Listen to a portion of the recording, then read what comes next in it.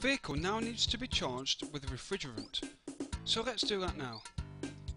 Don't forget to protect yourselves, the vehicle and the environment when connecting to the vehicle.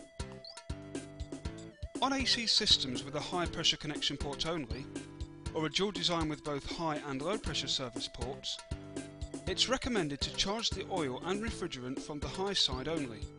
If you happen to service an AC system with a low pressure connection port only, it's very important to wait at least 10 minutes before starting the AC system after the charge.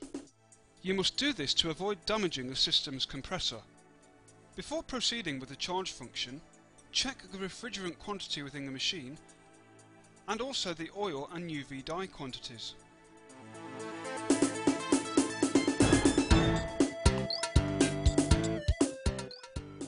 Press the charge button on the keypad.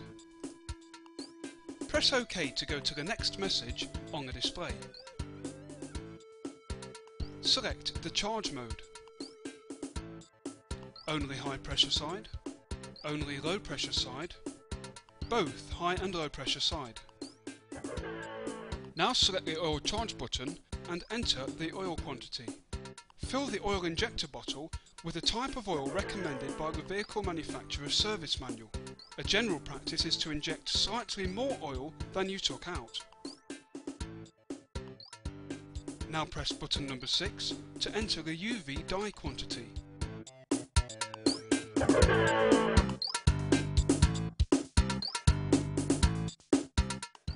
Enter the amount of coolant to be charged. The correct amount is found in a service manual for the vehicle, on a sticker in the engine compartment, or in the electronic database. Press OK to confirm the amount you have selected. Press OK and the unit performs the oil and the coolant charge automatically. Before disconnecting the hoses from the air conditioning system, we have to follow a strict procedure of pipe equalisation in order to evacuate the hoses and charge the air conditioning system with the accuracy that meets the SAE J2788 standards.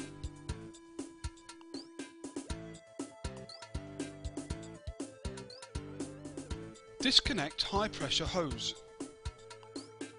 Start the engine and switch on the air conditioning system. If you press OK, the hose equalisation will start. Wait for the high and low pressure to equalise, both at the same pressure. Disconnect the low pressure hose and switch off the air conditioning system and the engine. Confirm and the machine will clear the hoses ready for the next vehicle.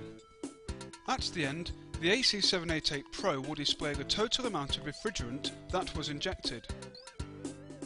Press OK to print a full detailed report of the charge, or escape to exit. OK, that is the function complete. If you follow these guidelines, your Robinair machine will perform superbly, and you will have satisfied customers. Remember though, this training video does not replace the user manual, so please read through it, and keep it to hand at all times. If you need any further information on our products, please contact your local distributor.